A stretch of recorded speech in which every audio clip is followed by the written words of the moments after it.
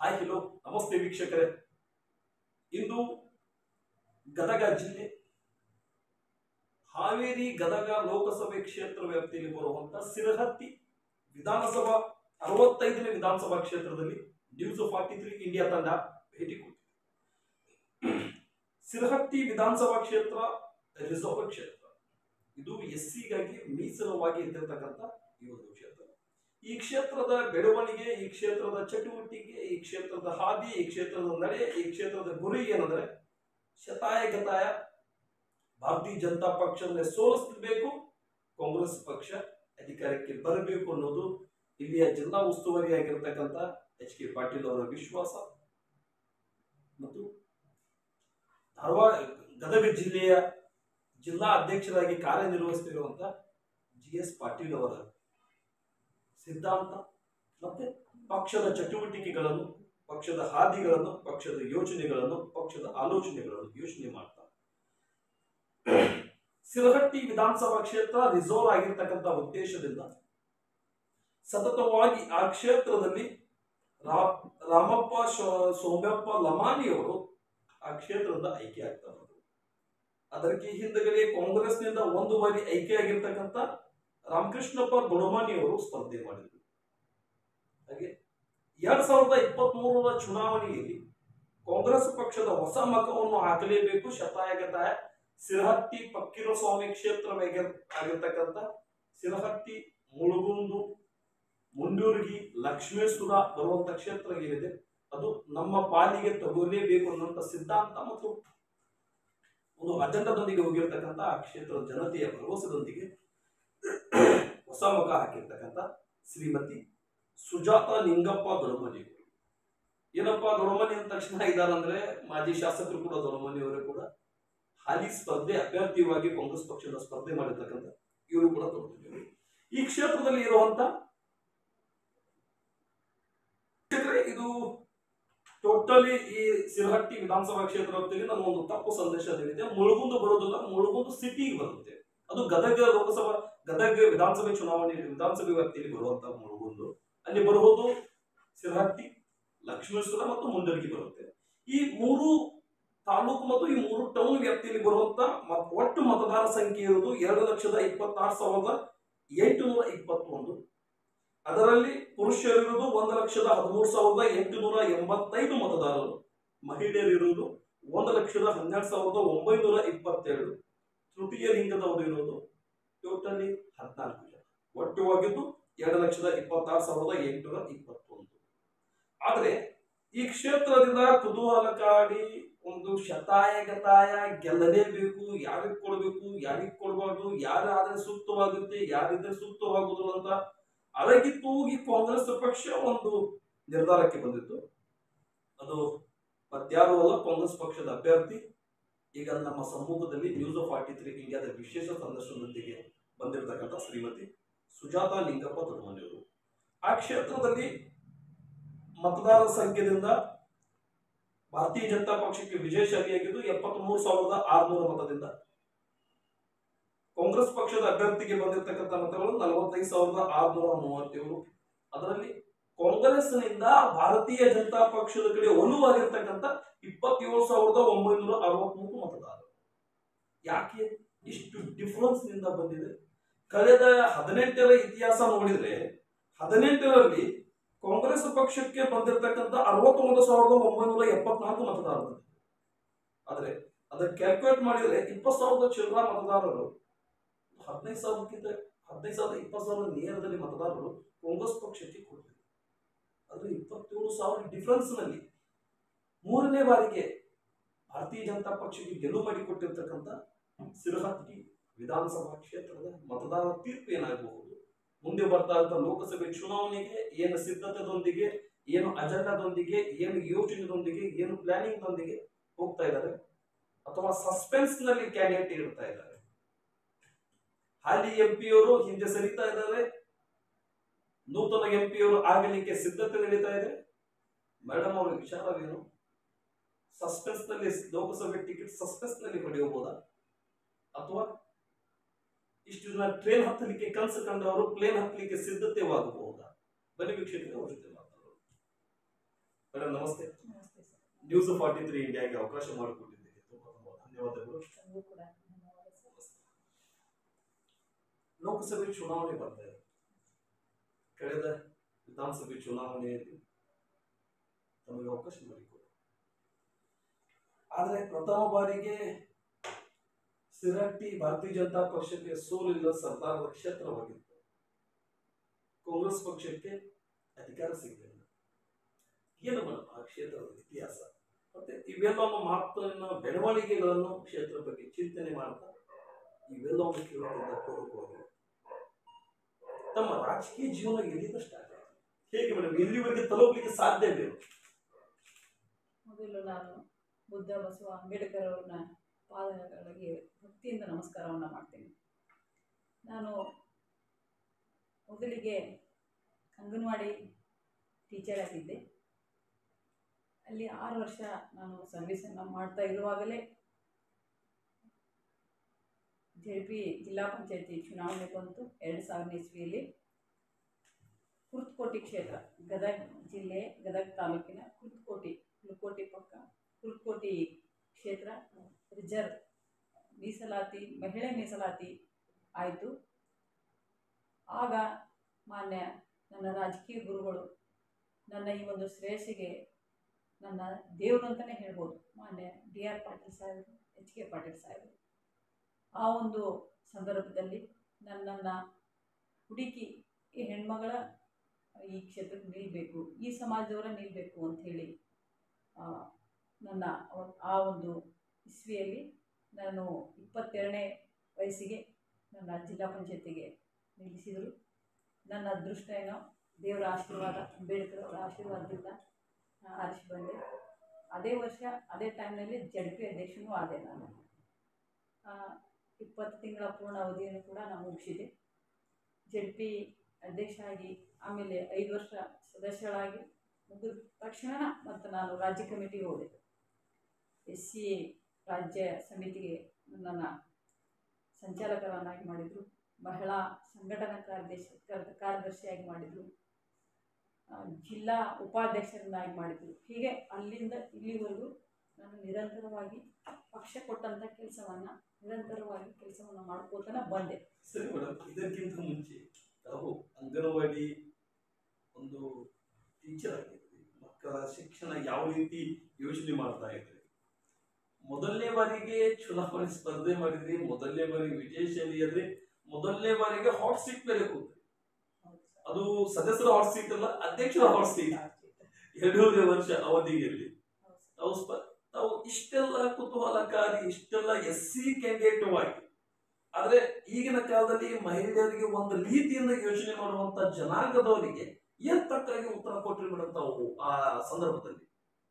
Sir, ನನ್ನ ಗದಗ ಕ್ಷೇತ್ರ ಏನಿದೆಯಲ್ಲ, ಗದಗ ತಾಲೂಕು, ಗದಗ ಜಿಲ್ಲೆಯ ನಮ್ಮ ನಾಯಕರು ಇದಾರಲ್ಲ ರಾಜ್ಯ ನಾಯಕರು, ನಮ್ಮ ಎಚ್ ಕೆ ಪಾಟೀಲ್ ಸಾಹೇಬರಾಗಲಿ, ಡಿ ಆರ್ ಪಾಟೀಲ್ ಸಾಹೇಬರಾಗಲಿ, ಇವರ ಒಂದು ನಮ್ಮನ್ನು ಬೆಳೆಸಿದಂಥ ರೀತಿ, ನಮ್ಮನ್ನು ಈ ರಾಜಕಾರಣಕ್ಕೆ ತಂದಂಥ ರೀತಿ ನೋಡಿದ್ರೆ ನಿಜವಾಗ್ಲೂ ನಾವು ರಾಜಕಾರಣ ಮಾಡೋಕೆ, ಇವರ ಇವರ ಜೊತೆಗೆ ನಾವು ರಾಜಕಾರಣ ಮಾಡೋಕೆ ಪುಣ್ಯಕ್ಕೆ, ಪುಣ್ಯನ ಮಾಡಿರ್ಬೇಕಂತ ಹೇಳ್ತೀವಿ ಸರ್.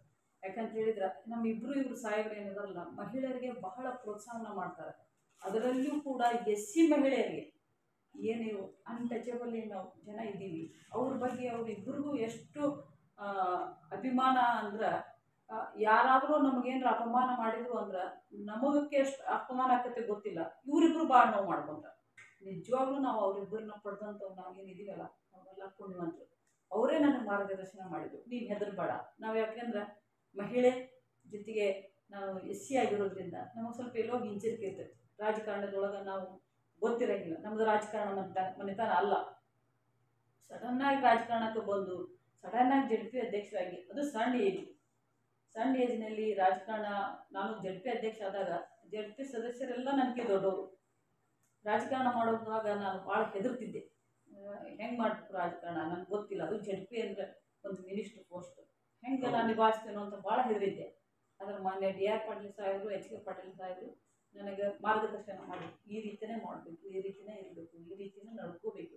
ಇವತ್ತು ನಾನೇನಾದರೂ ಇಲ್ಲಿ ಬಂದು ಇಲ್ಲಿವರೆಗೆ ಈ ಲ್ಯಾ ಈ ಮಟ್ಟಕ್ಕೆ ನಾನು ಬಂದು ಕುಂತೀನಂದ್ರೆ ಅವರಿಬ್ಬರ ಆಶೀರ್ವಾದ ಅವರಿಬ್ಬರ ಸಲಹೆ ಮೇರೆಗೆ ಅವರ ಒಂದು ರಾಜಕಾರಣ ನೋಡಿಕೊಂಡು ಅವ್ರು ಯಾವ ರೀತಿ ರಾಜಕಾರಣದಲ್ಲಿ ಇರಲ್ಲ ರಾಜ್ಯದಲ್ಲಿ ಅವ್ರ ಹೆಸರು ಏನೈತೆ ಅಂತ ಅವ್ರಿಗೂ ಗೊತ್ತೈತಲ್ಲ.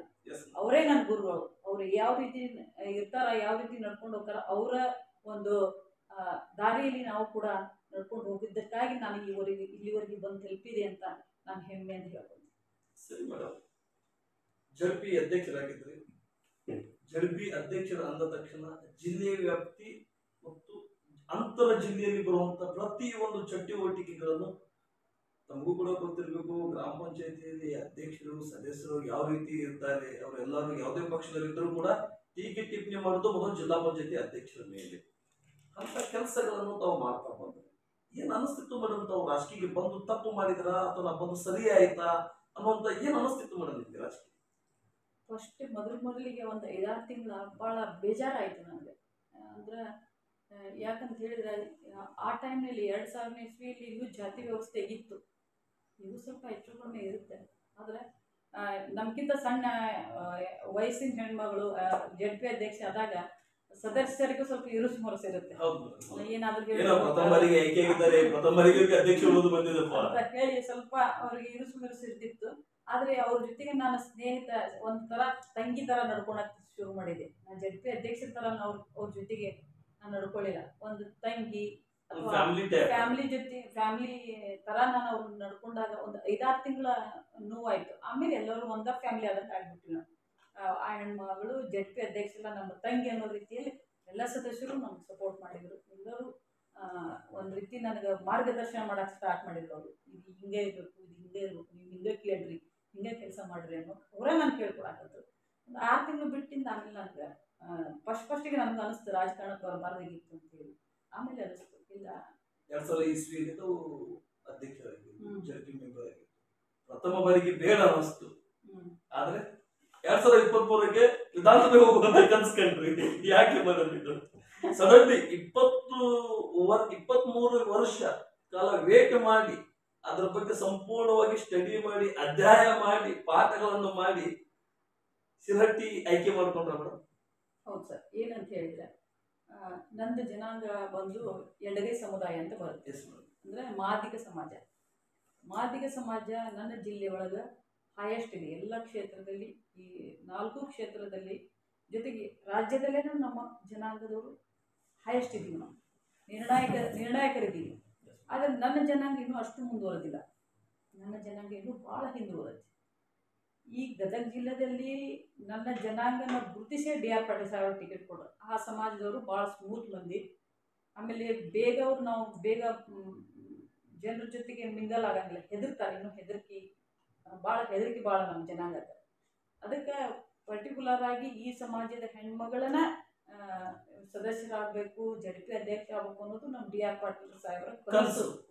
ಅದನ್ನ ಮಾಡಿಬಿಟ್ರು. ಅದನ್ನ ಆ ಇದರಿಂದ ನಾನು ಏನು ಜಡ್ ಪಿ ಅಧ್ಯಕ್ಷ ಮಾಡಿದ್ರು ನಿರಂತರವಾಗಿ ಅವ್ರು ನನಗೆ ಸಪೋರ್ಟ್ ಮಾಡ್ಕೊಂತಾನೆ ಬಂದು ಈ ಸಮಾಜದ ಹೆಣ್ಮಗಳು ಬೆಳೆಸ್ಬೇಕು ಈ ಹೆಣ್ಮಗಳನ್ನ ಅನ್ನೋದು. ಆ ಸಮಾಜಕ್ಕೆ ನಾವು ಪ್ರಾತಿನಿಧ್ಯ ಕೊಡಬೇಕು ಅನ್ನೋದು ಇಬ್ಬರ ಕನಸು. ಆ ಹಾಗಾಗಿ ಅದು ನಿರಂತರವಾಗಿ ಕ್ಷೇತ್ರ ವಿ- ಕ್ಷೇತ್ರ ರಿಸರ್ವೇಷನ್ ಆದಾಗಿಂದನೂ ನಾವು ಕೇಳ್ತಾ ಇದ್ವಿ. ನಾವು ಸಮಾಜ ಶಿರಟ್ಟಿಯಲ್ಲಿ ಕೂಡ ನಮ್ಮ ಸಮಾಜ ದೊಡ್ಡ ಸಮಾಜ. ಅಲ್ಲಿ ಮೂವತ್ತೈದು ಸಾವಿರದ ನಲವತ್ತು ಸಾವಿರ ನಮ್ಮ ವೋಟಿಂಗ್ ಇದೆ. ಶಿರಟ್ಟಿ ಮತಕ್ಷೇತ್ರದಲ್ಲಿ ಅದಕ್ಕೆ ನಾವು ಏನು ನಮಗೊಂದ್ಸಲ ಅವಕಾಶ ಕೊಡ್ರಿ ಅಂತ ನಾವು ಫಸ್ಟ್ ದಿನ ಕೇಳಿದ್ವಿ.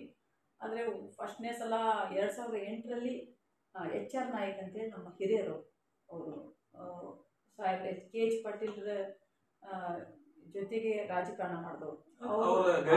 ಅವರಲ್ಲಿದ್ದು ಅವ್ರಿಗೆ ಏನಾದ್ರು ಮಾಡ್ಬೇಕು ಅನ್ನೋದು ನಮ್ಮ ಸಾಹೇಬ್ರಿಗೆ ಓಡ್ಲಿ ಇತ್ತು ಹೀಗಾಗಿ ನಾವು ಯಾರು ಅದನ್ನ ಅವತ್ತು ಆ ಆ ಟೈಮ್ನಲ್ಲಿ ನಾವು ಯಾರು ಜೋರು ಮಾಡಲಿಲ್ಲ. ಆಯ್ತು ಸಾಹೇಬ್ರೆ ಯಾರು ಕೊಡ್ತಾರೆ. ನಾವ್ ನಾವು ಆರಿಸ್ಕೊಳ್ಳೋಣ ಅಂತ ಹೋದ್ವಿ. ಆದ್ರೆ ಅವರು ಏನು ಮಾಡಿದ್ರು ಅಂದ್ರೆ ಎಚ್ ಆರ್ ನಾಯಕ್ ಸಾಹೇಬರು ಕ್ಷೇತ್ರದಲ್ಲಿ ಸ್ವಲ್ಪ ಜಾಸ್ತಿ ಸಂಪರ್ಕಕ್ಕೆ ಬರಲಿಲ್ಲ. ಆವಾಗ ನಾವು ಹಿಂದೆ ಸರ್ಬಿಟ್ರು ಅಲ್ಲಿ ಕಾಂಗ್ರೆಸ್ಸಿಗೆ ಕೊಟ್ಟಿದ್ದು ಫಸ್ಟ್ನೇ ಸಲ. ಎರಡನೇ ಸಲ ಕೂಡ ನನಗೆ ಎರಡು ಸಾವಿರದ ಹದಿಮೂರರಲ್ಲಿ ನನಗೆ ಟಿಕೆಟ್ ಫೈನಲ್ ಆಗಿತ್ತು ಸಮಾಜದ ಹಿಡ್ಕೊಂಡು ಸಮಾಜದ ವೋಟಿಂಗ್ ಜಾಸ್ತಿ ಇರೋದ್ರಿಂದ ಈ ಸಮಾಜಕ್ಕೆ ಕೊಡ್ಬೇಕಂತೇಳಿ ಫಸ್ಟ್ ಫೈನಲ್ ನಂದಾಗಿರೋದು. ಸ್ಕ್ರೀನಿಂಗ್ನಾಗೆಲ್ಲ ನಂದಾಗಿ ಎಲ್ಲ ಅನೌನ್ಸ್ ಆಗಿ ಲಾಸ್ಟ್ ಮೂಮೆಂಟ್ನಾಗ ರಾಮಕೃಷ್ಣ ಅವರು ಆಯಿತು. ನಾವು ಅವಾಗ ಎಲ್ಲ ಸಮಾಜದವ್ರಿಗೆ ಒಂದು ಏನು ಹೇಳಿದ್ವಿ ಅವರು ಮೋಚಿ ಸಮಾಜಕ್ಕೆ ಬರ್ತಾರೆ. ಮೋಚಿ ಅಂತ ಬರುತ್ತೆ ಒಂದು ಸಮಾಜ. ಮೋಚಿ ಸಮಾಜ ಕೂಡ ನಮ್ದೊಂದು ಕಮಿಟಿ ಒಳಗೆ ನಮ್ಮ ಕಮ್ಯುನಿಟಿ ಒಳಗೆ ಅದು ಒಂದು ಸಬ್ ಕಮ್ಯುನಿಟಿ ಅಂತ ಬರುತ್ತೆ. ಸ್ವಲ್ಪ ಪ್ಲಸ್ ಮೈನಸ್ ಒಂದರಲ್ಲಿ ಬರುತ್ತೆ. ಹಾ ಬರುತ್ತೆ. ಸ್ವಲ್ಪ ಕೆಳಗೆ ಹಾ ಕೆಳಗೆ. ನಾವು ಎಲ್ಲ ಏನು ಅನ್ಕೊಂಡ್ವಿ? ಪಕ್ಷ ಏನು ನಿರ್ಣಯ ಮಾಡೈತಿ? ಪಕ್ಷ ನಿರ್ಣಯ ಅಂತಿಮ ನಿರ್ಣಯ? ನಾವೇನ್ ಪಕ್ಷ ನಿರ್ಣಯ ಮಾಡೈತಿ? ನಾವೆಲ್ಲರೂ ಕೂಡಿ ಸಮಾಜದವ್ರು ಒಂದು ಗೂಡಿಸಿ ಸಮಾಜದವರೆಲ್ಲ ಬೇಜಾರಾಗಿರೋ ಆ ಟೈಮಲ್ಲಿ ಇಲ್ಲ ನಾವು ಕೇಳಿದ್ವಿ ನಾವು ದೊಡ್ಡ ಸಮಾಜದವರು ನಮ್ಗೆ ಟಿಕೆಟ್ ಕೊಡಲಿಲ್ಲ.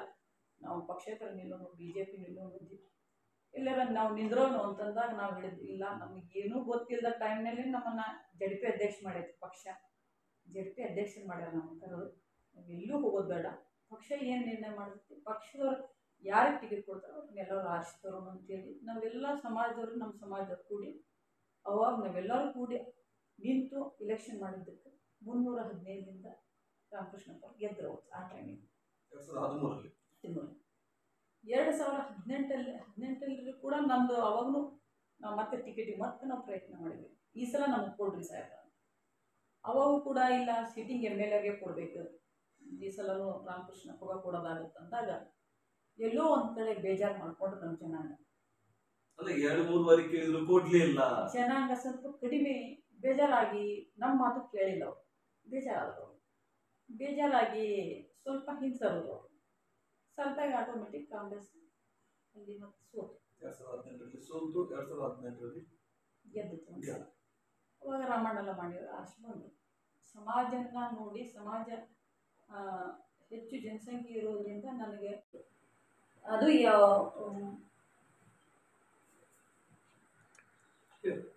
ಸಮಾಜದ ಜನಸಂಖ್ಯೆ ಅದರ ಮೇಲೆ ಸಾಮಾಜಿಕ ನ್ಯಾಯ ನ್ಯಾಯ ಅಡಿ ಒಳಗೆ ನನಗೆ ಟಿಕೆಟ್ ಸಿಕ್ತು. ಜೊತೆಗೆ ಮಹಿಳೆ ಅನ್ನೋದು ಕೂಡ ಒಂದು ಜಿಲ್ಲೆಗೆ ಒಂದು ಮಹಿಳೆ ಕೊಡಬೇಕು ಅನ್ನೋವಂಥ ಕೂಗು ಜೊತೆಗೆ ಲಾಸ್ಟಿಗೆ ಅಟ್ಲೀಸ್ಟ್ ಒಂದು ಎಂ ಪಿ ಕ್ಷೇತ್ರಕ್ಕೆ ಒಂದು ಮಹಿಳೆ ಕೊಡಬೇಕು ಅನ್ನೋ ದೃಷ್ಟಿಯಿಂದ ನನಗೆ ಟಿಕೆಟ್ ಸಿಕ್ತು. ಎಲ್ಲರ ಆಶೀರ್ವಾದ ಎರಡ್ ಸಾವಿರದ ಇಪ್ಪತ್ತ್ಮೂರರಲ್ಲಿ ನನಗೆ ಟಿಕೆಟ್ ಸಿಕ್ತು.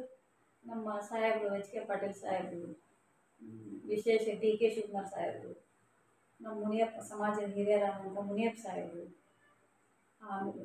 ಡಿ ಆರ್ ಪಾಟೀಲ್ ಸಾಹೇಬರು, ಸಲೀಮ್ ಮೊಹಮ್ಮದ್ ಸಾಹೇಬರು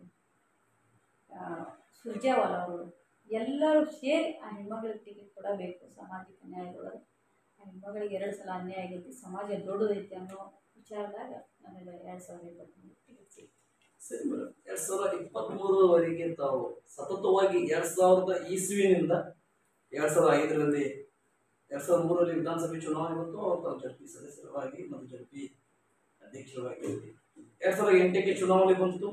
ಅವಾಗ ಹಿಂದೆ ಸರದ್ರಿ. ಎರಡ್ ಸಾವಿರದ ಹದಿಮೂರರಲ್ಲಿ ಕೂಡ ಹಿಂದೆ ಸರದ್ರಿ. ಎರಡ್ ಸಾವಿರದ ಹದಿನೆಂಟರಲ್ಲಿ ಹಿಂದೆ ಸರದ್ರಿ. ಎರಡ್ ಸಾವಿರದ ನಾಲ್ಕನೇ ಬಾರಿಗೆ ಫೈಟ್ ಮಾಡ್ತಾ ಒಂದು ವಿಧಾನಸಭೆಗೆ ಟ್ರೈನ್ ಹತ್ತು ಅವರು ಅವಕಾಶ ಸಿಕ್ತಿತ್ತು. ಆದ್ರೆ ಈ ಬಾರಿ ಕೂಡ ಸೋತ ಯಾಕೆ ಮೇಡಮ್ ಸತತವಾಗಿ ನಾಲ್ಕು ಬಾರಿ ಫೈಟ್ ಮಾಡಿದ್ರಿ? ಒಂದು ಬಾರಿ ರಿಫಾರ್ಮ್ ಸಲ್ಲಿಕೆ ಮಾಡಿದ್ರಿ.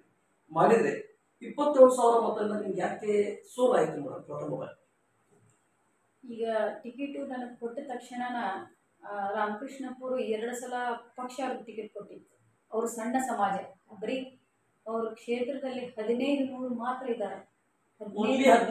ಎಸ್ ಸಾವಿರದ ಗ್ರಾಮ ಪಂಚಾಯತಿ ಎಸ್ ಸಾವಿರದ ಸಾವಿರದ ಐದುನೂರು. ಇಷ್ಟೇ ಜನಸಂಖ್ಯೆ ಇರುವಂಥ ಸಮಾಜ ಮೋರ್ಚಿ ಸಮಾಜ. ಅಂಥ ಸಮಾಜದವರಿಗೆ ಎರಡು ಸಲ ಎರಡು ಸಲ ಟಿಕೆಟ್ ಅನ್ನ ಕೊಟ್ಟಿದೆ ಕಾಂಗ್ರೆಸ್ ಪಕ್ಷ.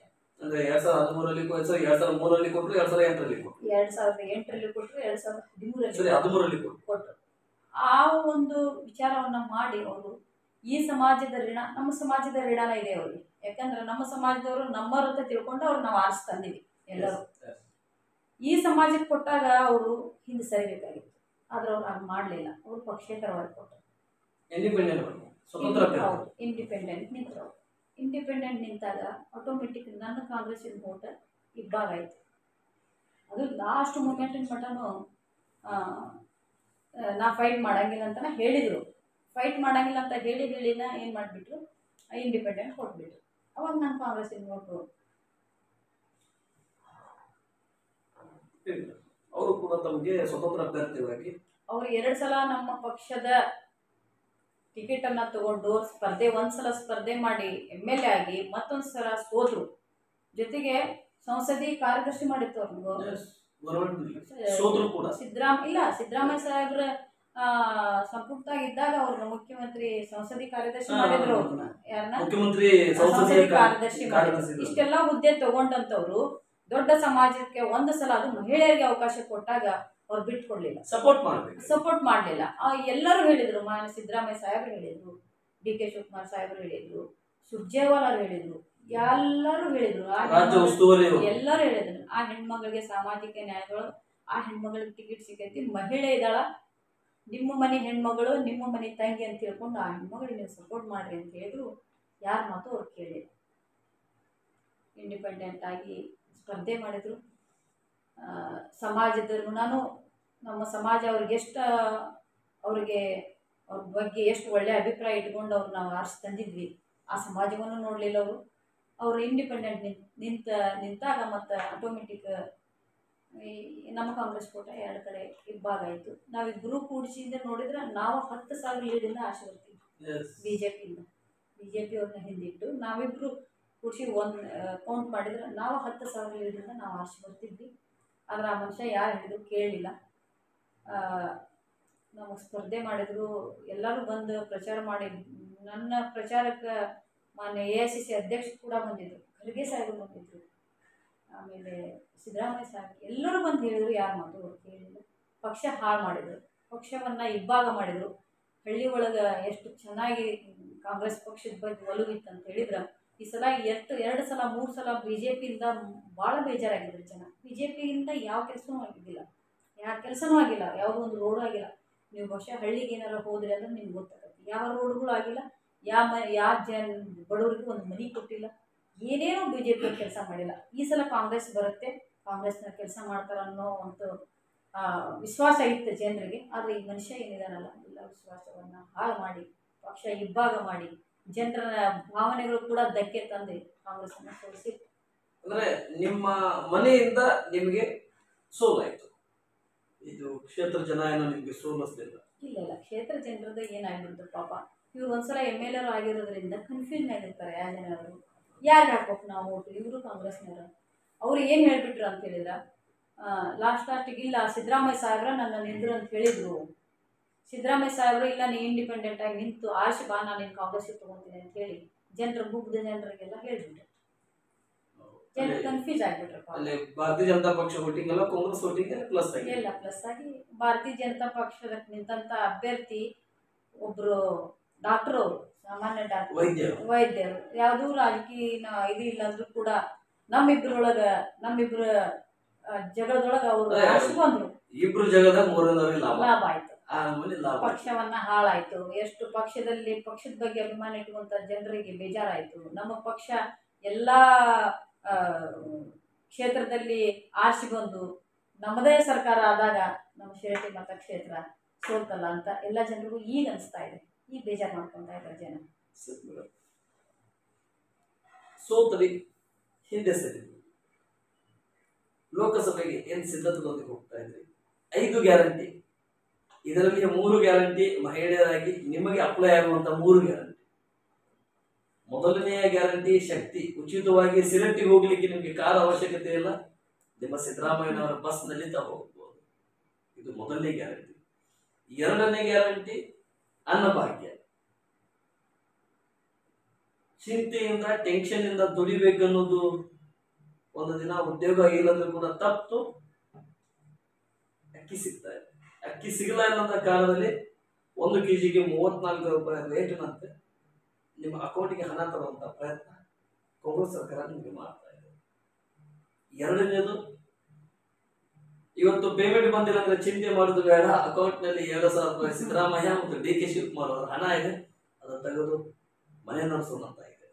ಈ ಎರಡು ಗ್ಯಾರಂಟಿ ಸಾರಿ ಇದು ಐದು ಗ್ಯಾರಂಟಿಯಲ್ಲಿ ನಾಲ್ಕು ಗ್ಯಾರಂಟಿ ಜಾರಿಯಾಗಿದ್ದರೆ ಮೂರು ಗ್ಯಾರಂಟಿ ಮಹಿಳೆಯರ ಪರವಾಗಿ, ಒಂದು ಗ್ಯಾರಂಟಿ ಮನೆಯವರ ಪರವಾಗಿ ಮತ್ತೊಂದು ಗ್ಯಾರಂಟಿ ಯುವನಿಧಿ ಪರವಾಗಿ, ಯುವಕರ ಪರವಾಗಿದೆ. ಈ ಐದು ಗ್ಯಾರಂಟಿಯಲ್ಲಿ ನೂರು ದಿನ ಸಕ್ಸೆಸ್ ಮೊನ್ನೆ ಏನು ಆಗಸ್ಟ್ ಮೂವತ್ತರಂದು ಏನು ಜಾರಿಗೆ ಆಗಿದೆ? ನೂರು ದಿನ ಏನೋ ಆಗಿದೆ. ಆ ನೂರು ದಿನ ಗ್ಯಾರಂಟಿ, ನೂರು ಸಕ್ಸಸ್ದೊಂದಿಗೆ ಜನ ಯಾವ ರೀತಿ ನಿಮಗೆ ಉತ್ಸಾಹ ತುಂಬ್ತಾ ಇದ್ದಾರೆ? ಜನ ಯಾವ ರೀತಿ ನಿಮಗೆ ಅಪ್ಕೊಂತಾ ಇದ್ದಾರೆ? ಜನ ಯಾವ ರೀತಿ ನಿಮಗೆ ನೋಡ್ತಾ ಇದ್ದಾರೆ ಕ್ಷೇತ್ರದಲ್ಲಿ? ಶಿರಾಟಿ ಕ್ಷೇತ್ರ ಆಗಿರ್ಲಿ ಅಥವಾ ತಾವು ಕೂಡ ಈ ಜಿಲ್ಲೆಯ ಮಾಜಿ ಅಧ್ಯ ಜಿಲ್ಲಾ ಪಂಚಾಯತಿ ಅಧ್ಯಕ್ಷರಾಗಿದ್ರಿ. ಒಂದು ರೀತಿಯಿಂದ ಹೇಳ್ಬೇಕಂದ್ರೆ ಮಾಜಿ ಸಚಿವರು ಅಂತ ಹೇಳ್ಬೋದು ನಿಮ್ಗೆ. ಮತ್ತೆ ಜಿಲ್ಲಾ ಉಸ್ತುವಾರಿ ಅನ್ಬೋದು ಆ ರೀತಿ ಇದ್ದಂಥವ್ರು. ಏನ್ ಅನ್ನಿಸ್ತಾ ಇದೆ ಮೇಡಮ್ ಕಾಂಗ್ರೆಸ್ ಪಕ್ಷಕ್ಕೆ ಮೊದಲು ನಮ್ಮ ಯೋಜನೆ ತಂದಂತ ಎಲ್ಲ ಸಚಿವರಿಗೆ ಎಲ್ಲರಿಗೂ ನಾನು ಮೊದಲು ಅಭಿನಂದನೆ ಸಲ್ಲಿಸ್ತೇನೆ.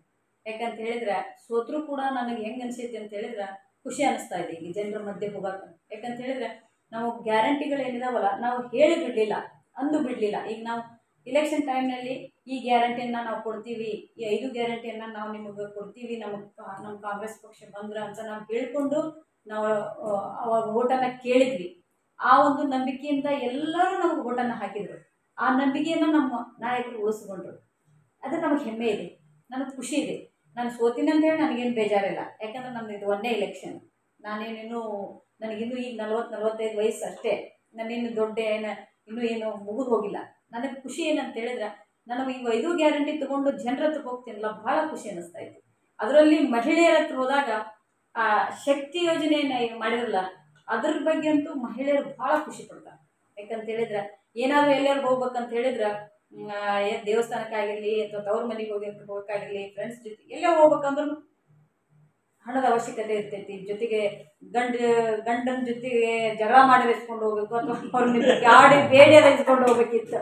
ಆದ್ರೆ ಈಗ ಹಂಗೆ ಆಗಂಗಿಲ್ಲ ಅವ್ರು ಬೇ ಬರೇ ಒಂದು ಪರ್ಮಿಷನ್ ಕೊಡಿ ಸಾಕು ನಾವು ಹೋಗ್ಬಿಡ್ತೀವಿ ಅನ್ನೋ ಅಂತ.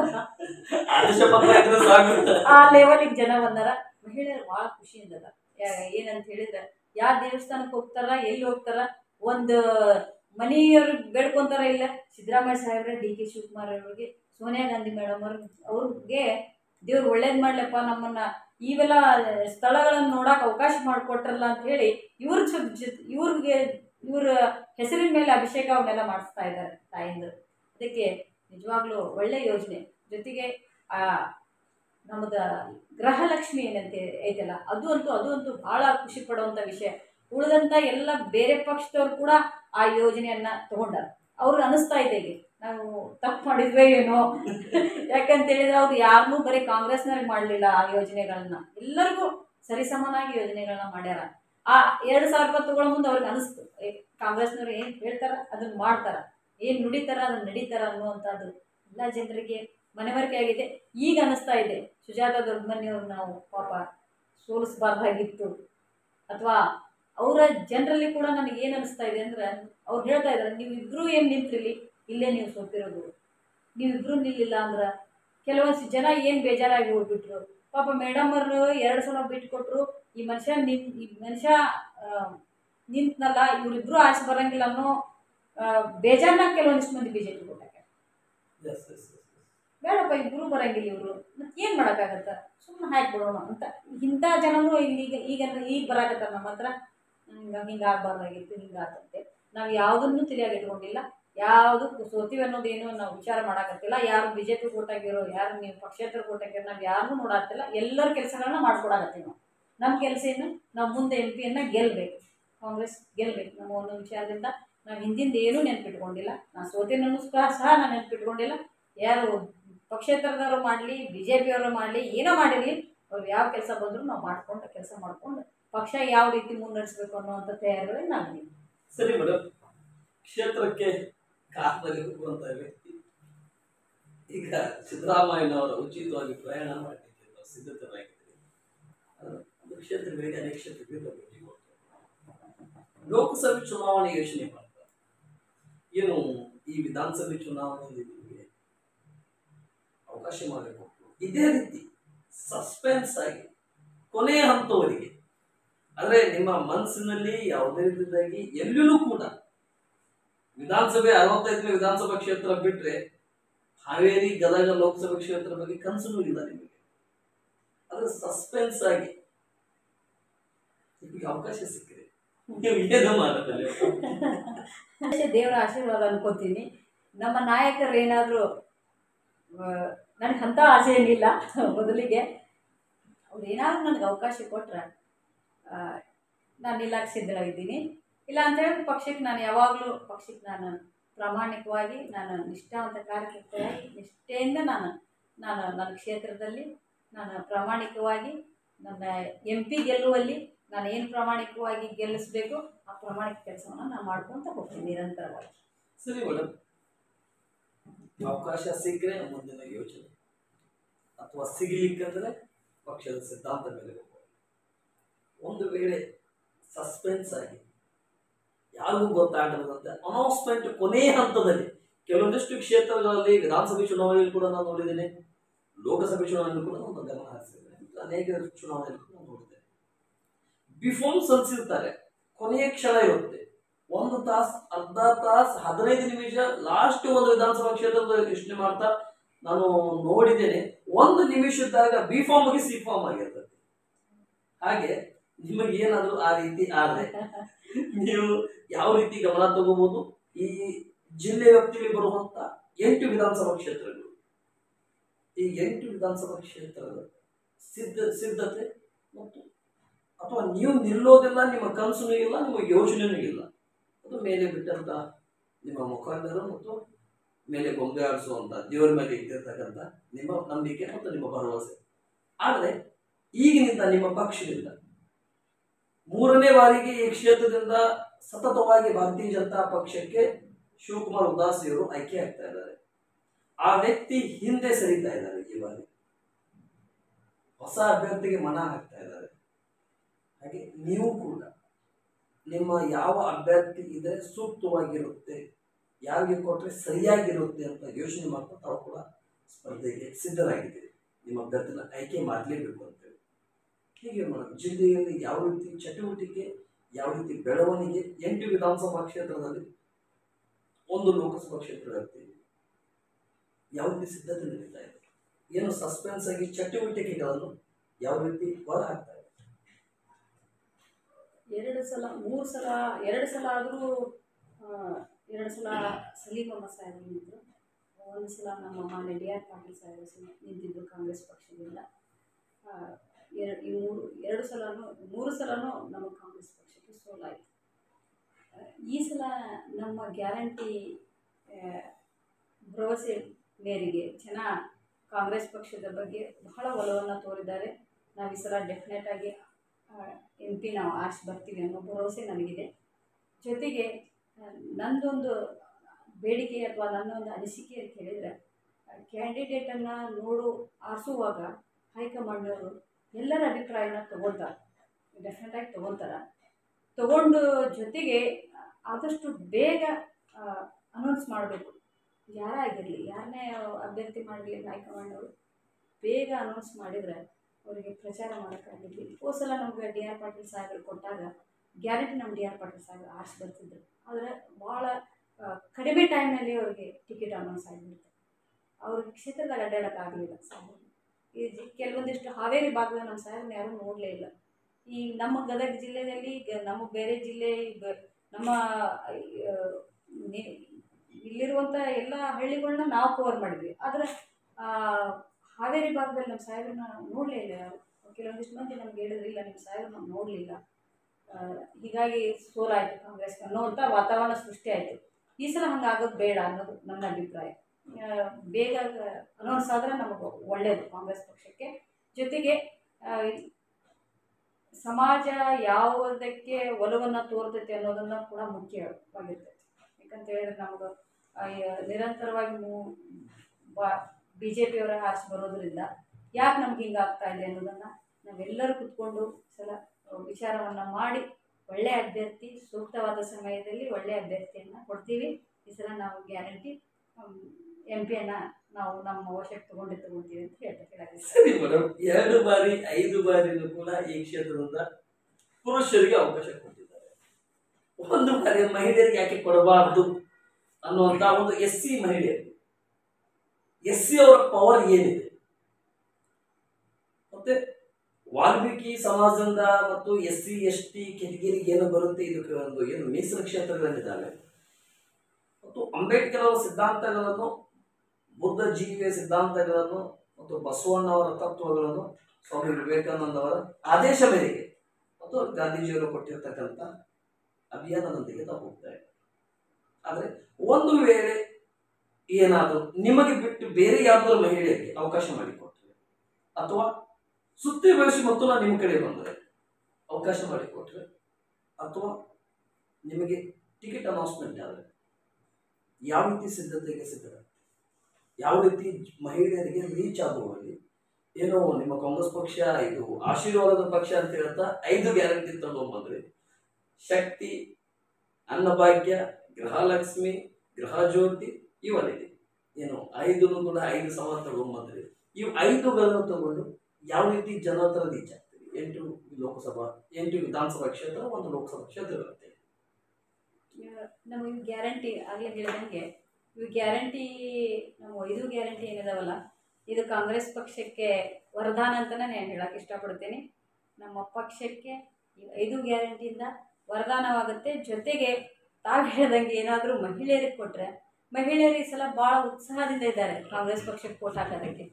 ಭಾಳ ಉತ್ಸಾಹ. ಯಾಕಂತ ಹೇಳಿದ್ರೆ, ಹೇಳಿದ್ವಲ್ಲ, ಈ ಎರಡು ಯೋಜನೆಗಳು ಮಹಿಳೆಯರಿಗೆ ಕೊಟ್ಟಿರೋದ್ರಿಂದ ಮಹಿಳೆಯರು ಕಾಂಗ್ರೆಸ್ ಪಕ್ಷದ ಪರವಾಗಿ ಈ ಸಲ ನೂರಕ್ಕೆ ನೂರು ಕೆಲಸವನ್ನು ಮಾಡ್ತಾರೆ. ಅದಕ್ಕೆ ಮಹಿಳೆಯಾಗಿ ನನಗೇನಾದರೂ ಟಿಕೆಟ್ ಕೊಟ್ರೆ ನಾ ಎಲ್ಲ ಮಹಿಳೆಯರ ಆಶೀರ್ವಾದ ನನಗೆ ಸಿಗ್ತೈತಿ. ಜೊತೆಗೆ ಐದು ಗ್ಯಾರಂಟಿ ಯಶಸ್ವಿಯಾಗಿ ನಾವು ಜನರಿಗೆ ಮುಟ್ಟಿಸಿ ಮುಟ್ಟಿಸಿವಿ ಅನ್ನೋ ಭರವಸೆ ಮೇಲೆಗೆ ನಾವು ಧೈರ್ಯವಾಗಿ ನಾವು ಜನರ ಬರಲಿ ಹೋಗಿ ಓಟನ್ನು ಕೇಳ್ಬೋದು. ನನ್ನ ಬಿಟ್ಟು ಬೇರೆ ಮಹಿಳೆಯರಿಗೆ ಏನಾದರೂ ಕೊಟ್ಟರು ಕೂಡ ನಾನು ಅಷ್ಟೇ ಆಸ, ಆಸಕ್ತಿಯಿಂದ ಅವ್ರನ್ನೂ ಕೂಡ ನಾನು, ನನಗೆ ಮುಖ್ಯವಾಗಿರೋದು ವ್ಯಕ್ತಿಗಿಂತ ಪಕ್ಷ ಮುಖ್ಯ. ನಮ್ಮ ಡಿ ಕೆ ಶಿವಕುಮಾರ್ ಸಾಹೇಬ್ ಹೇಳ್ತಾರೆ ಮೊದಲು ಪಕ್ಷ ಆಮೇಲೆ ವ್ಯಕ್ತಿ ಪೂಜೆ ನಂತರ ಮೊದಲನೇ ಪೂಜೆ ಪಕ್ಷದ ಸಿದ್ಧಾಂತದ ಪಕ್ಷದ ಮೇಲೆ ನಮ್ಮ ಸಾಹೇಬ್ರ ಪದೇ ಪದೇ ಹೇಳ್ತಾ ಇರ್ತಾರೆ ನಾವು ಪದೇ ಪದೇ ಮೀಟಿಂಗಲ್ಲಿ ಪಕ್ಷ ಮುಖ್ಯ ವ್ಯಕ್ತಿ ಮುಖ್ಯ ಅಲ್ಲ ಅಂತೇಳಿ ಅದಕ್ಕೆ ನಮ್ಮ ಪಕ್ಷಕ್ಕೆ ಯಾರೇ ನಿಂತಿರಲಿ ನಾವು ನಮ್ಮ ಪ್ರಾಮಾಣಿಕವಾದ ಕೆಲಸವನ್ನು ಮಾಡಿ ನಮ್ಮ ಪಕ್ಷ ಮುನ್ನಡೆಯುವಂಥ ಮುನ್ನಡೆಯುವಲ್ಲಿ ನಾವು ಯಾವ ರೀತಿ ನಮ್ಮ ಕೆಲಸವನ್ನು ಮಾಡಬೇಕು ಯಾವ ರೀತಿ ನಮ್ಮ ಪಕ್ಷವನ್ನು ಗೆಲ್ಲಿಸ್ಬೇಕು ಅನ್ನುವಂಥ ಲಕ್ಷ್ಯ ಮಾತ್ರ ನಾವು ಕೊಡ್ತೀವಿ. ಅಭ್ಯರ್ಥಿ ಯಾರೇ ಆಗಿರಲಿ ಅದು ಆಯ್ಕೆ ಮಾಡಿಬಿಟ್ಟಿದ್ದು ಯಾರು ಅಭ್ಯರ್ಥಿ ಮಾಡ್ತಾರೋ ಅವ್ರ ಪರವಾಗಿ ನಮ್ಮ ಕೆಲಸ ಮಾಡೋದು ನಮ್ಮ ಕೆಲಸ. ಸರಿ ಮೇಡಮ್ ಸಮಯದ ವಿಚಾರ ಮಾಡ್ತಾ ಸಂದರ್ಶನ ಅಂತ್ಯದ ನಿಯರ್ನಲ್ಲಿ ಬರ್ತಾ ಇದೆ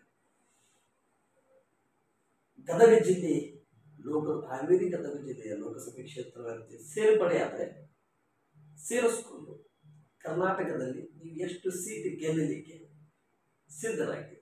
ನಿಮ್ಮ ಐದು ಗ್ಯಾರಂಟಿ ಯೋಜನೆದೊಂದಿಗೆ ಎಷ್ಟು ಸೀಟ್ ಗೆಲ್ಲಲಿಕ್ಕೆ ಹತ್ತತ್ರದಲ್ಲಿ ಹೋಗ್ತಾ ಇದೆ. ತಾವು ಹೇಳಿದಾಗೆ ತಾವು ಹೇಳಿದಾಗೆ ಇಪ್ಪತ್ತೆಂಟು ಸೀಟ್ನಲ್ಲಿ ನಾವು ಡೆಫಿನೆಟ್ ಆಗಿ ಇಪ್ಪತ್ತು ಸೀಟನ್ನು ನಾವು ಗೆದ್ದೇ ಗೆಲ್ತೀವಿ. ಇಪ್ಪತ್ತು ಪ್ಲಸ್ಸೂ ಆಗ್ಬೋದು.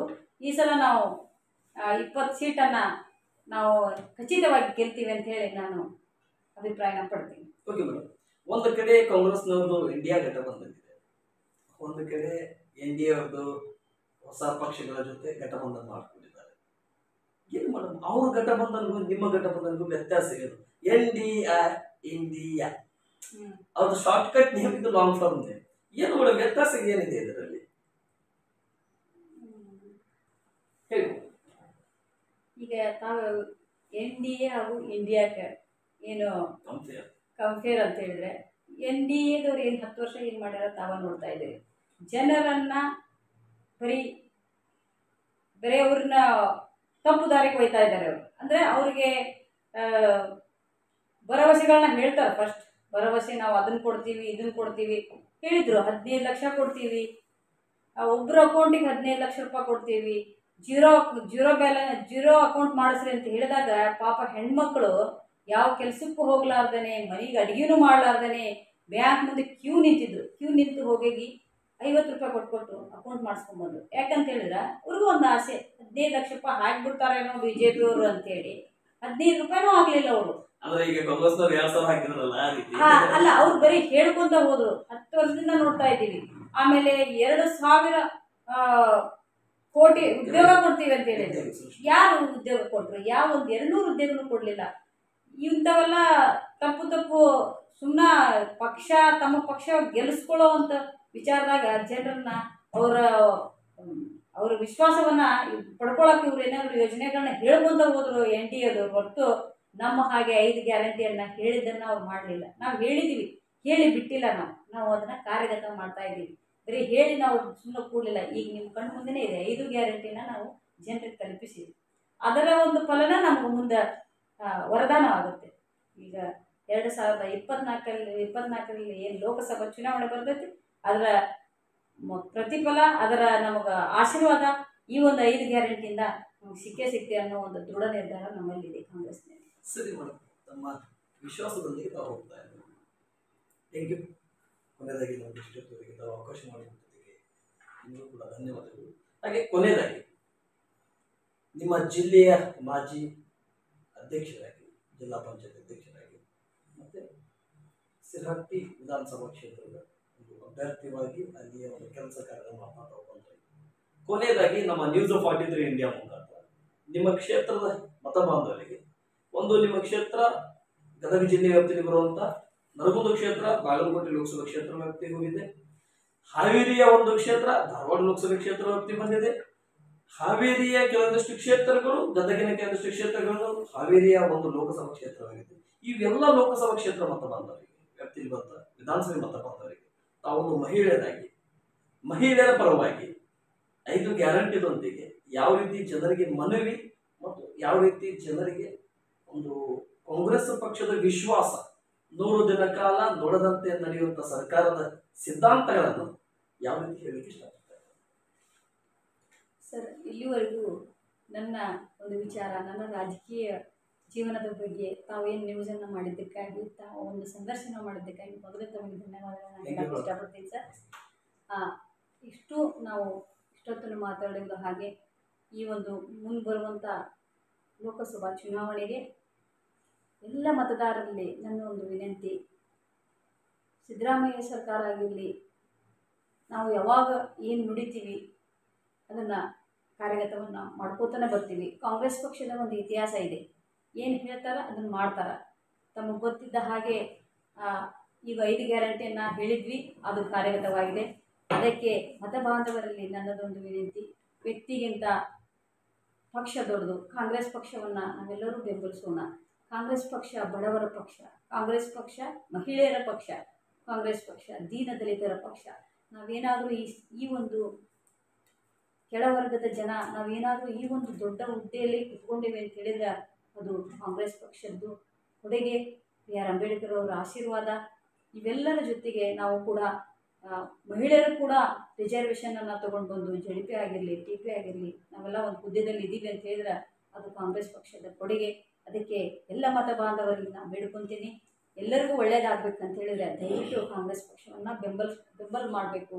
ಕಾಂಗ್ರೆಸ್ ಪಕ್ಷಕ್ಕೆ ತಮ್ಮ ಬೆಂಬಲವನ್ನು ಕೊಡಬೇಕು. ತಮ್ಮ ಅಮೂಲ್ಯವಾದ ಮತವನ್ನು ಬೇರೆ ಕಡೆ ಹಾಕಿ ಅದನ್ನು ನೀವು ಆಮೇಲೆ ಪಶ್ಚಾತ್ತಾಪ ಪಡೋದಕ್ಕಿಂತ ಕಾಂಗ್ರೆಸ್ ಪಕ್ಷಕ್ಕೆ ಮತವನ್ನು ಹಾಕಿ ನಿಮ್ಮ ಆಶೀರ್ವಾದ ಕಾಂಗ್ರೆಸ್ ಪಕ್ಷಕ್ಕಿರಲಿ ಕಾಂಗ್ರೆಸ್ ಪಕ್ಷ ನಿಮ್ಮೆಲ್ಲರ ಸೇವೆಗೆ ಸದಾ ಸಿದ್ಧರಿರ್ತೈತಿ ಅಂತ ಈ ಸಂದರ್ಭದಲ್ಲಿ ಹೇಳಿ ಎಲ್ಲ ಮತ ಬಾಂಧವರಿಗೆ ನಾನು ನಮಸ್ಕಾರವನ್ನು ಮಾಡಿ. ನಮಸ್ತೆ ಮೇಡಮ್ ತುಂಬಾ ತುಂಬಾ ಧನ್ಯವಾದಗಳು. ನಮಸ್ತೆ. ಇಷ್ಟೊತ್ತಿಗೆ ಅವಕಾಶ thank you sir thank you sir thank you sir thank you ಒಂದು ನಿಮಿಷ ನಾನು ಕಂಪ್ಲೀಟ್ ಮಾಡ್ಕೊಂಡು ವೀಕ್ಷಕರೇ ಗಮನಿಸಿದಲ್ಲ ಇಷ್ಟೊತ್ತು ಅರವತ್ತೈದನೆಯ ಸಿರಟ್ಟಿ ವಿಧಾನಸಭಾ ಕ್ಷೇತ್ರ, ಸಿರಟ್ಟಿ ವಿಧಾನಸಭಾ ಕ್ಷೇತ್ರ ಅನ್ನೋದಕ್ಕಿಂತ ಸಿರಹಟ್ಟಿ ಪಕ್ಕಿರೋ ಸ್ವಾಮಿಗಳಾಗಿರ್ತಕ್ಕಂಥ ಅವರ ಕ್ಷೇತ್ರದಿಂದ ಸ್ಪರ್ಧೆಗೆ ಸದಸ್ಯರಾಗಿ ಮತ್ತು ಎರಡು, ಮೂರು ಬಾರಿ ಟಿಕೆಟ್ ಅವಕಾಶವನ್ನು ಕೇಳಿದರೆ ನಿರಾಸೆಗೊಂಡರೂ ಕೂಡ ಪಕ್ಷದ ಸಿದ್ಧಾಂತ, ಪಕ್ಷದ ಹಾದಿ, ಪಕ್ಷದ ಗುರಿ, ಪಕ್ಷದ ಚಟುವಟಿಕೆ ಮತ್ತು ಪಕ್ಷ ನೀಡಿರ್ತಕ್ಕಂಥ ಸಿದ್ಧಾಂತದ ಮೇಲೆ, ಪಕ್ಷ ನೀಡಿರ್ತಕ್ಕಂಥ ಗುರಿಯ ಮೇಲೆ, ಪಕ್ಷ ನೀಡಿರ್ತಕ್ಕಂಥ ಮಾರ್ಗದ ಮೇಲೆ ಬಂದಿರತಕ್ಕಂಥ ಶ್ರೀಮತಿ ಸುಜಾತ ನಿಂಗಪ್ಪ ದುರಮ್ಮನ್ ಇವರ ವಿಚಾರಗಳನ್ನು ಯಾರು ಏನೋ ಮಾಡಲಿ, ಯಾರು ಏನೋ ಷಡ್ಯಂತ್ರ ಹಣಿಯಲಿ, ಯಾರು ಏನೋ ಪಣ ತಟ್ಟಲಿ, ಲೋಕಸಭೆ ಚುನಾವಣೆಯಲ್ಲಿ ಇಪ್ಪತ್ತು ಪ್ಲಸ್ ಸೀಟ್ ತಗೊಳ್ಳೋದು ಖಚಿತ ಕೇಂದ್ರದಲ್ಲಿ ಇಂಡಿಯಾ ಘಟಬಂಧನ್ ಅಧಿಕಾರಕ್ಕೆ ಬರೋದು ನಿಶ್ಚಿತ, ಭಾರತೀಯ ಜನತಾ ಪಕ್ಷ ಮನೆಗೆ ಹೋಗೋದು ಫಿಕ್ಸ್ ಅಂತ ಹೇಳ್ತಾ, ಇದಷ್ಟು. ಮೊದಲನೇ ಬಾರಿಗೆ ವಿಧಾನಸಭೆ ಚುನಾವಣೆಯಲ್ಲಿ ಎಂಟ್ರಿ ನೀಡಿರ್ತಕ್ಕಂಥ ಶ್ರೀಮತಿ ಸುಜಾತ ಅವರು ಮತ್ತು ಇದಕ್ಕೆ ಹಿಂದಗಡೆ ಎರಡ್ ಸಾವಿರದ ಇಸ್ವಿಯಲ್ಲಿ ಕೂಡ ಜಿಲ್ಲಾ ಪಂಚಾಯತಿ ಸದಸ್ಯರಾಗಿ ಜಿಲ್ಲಾ ಪಂಚಾಯತಿ ಎರಡೂವರೆ ವರ್ಷ ಅವಧಿಯಲ್ಲಿ ಒಂದು ಗದಗ ಜಿಲ್ಲೆಯ ಸಂಪೂರ್ಣವಾಗಿ ಉಸ್ತುವಾರಿ ವಹಿಸಿಕೊಂಡು ಮಿನಿಸ್ಟರ್ ಹಾಗೆ, ಸಚಿವರ ಹಾಗೆ, ಜಿಲ್ಲಾ ಉಸ್ತುವಾರಿ ಹಾಗೆ ಕೆಲಸ ಮಾಡ್ತಾ, ಮಹಿಳೆಯರಿಗಾಗಿ, ಮಹಿಳೆಯರಿಗೋಸ್ಕರ ಮಹಿಳೆಯರ ಚಿಂತನೆ ಮಾಡ್ತಾ, ಇಲ್ಲಿವರೆಗೆ ತಲುಪಿರ್ತಕ್ಕಂಥ ಶ್ರೀಮತಿ ಸುಜಾತ ಮೇಡಮ್. ಇವರ ಯೋಚನೆ, ಇವರ ವಿಶ್ವಾಸ, ಇವರ ಧೈರ್ಯ ಮತ್ತು ಲೋಕಸಭೆ ಚುನಾವಣಾ ಯಾತ್ರಾದೊಂದಿಗೆ ನ್ಯೂಸ್ ಫಾರ್ಟಿ ತ್ರೀ ಇಂಡಿಯಾ ವಿಶೇಷ ಸಂದರ್ಶನದೊಂದಿಗೆ ಅವಕಾಶ ಮಾಡಿಕೊಟ್ಟಿದ್ದಕ್ಕೆ ತುಂಬಾ ತುಂಬಾ ಧನ್ಯವಾದಗಳು. ನಮಸ್ತೆ ಜಾಕಿ ಮತ್ತೆ ಭೇಟಿ ಆಗ್ತೇನೆ ನೋಡ್ತಾ ಇರಿ ನ್ಯೂಸ್ ಫಾರ್ಟಿ ತ್ರೀ ಇಂಡಿಯಾ ಜಾಕಿಂದ್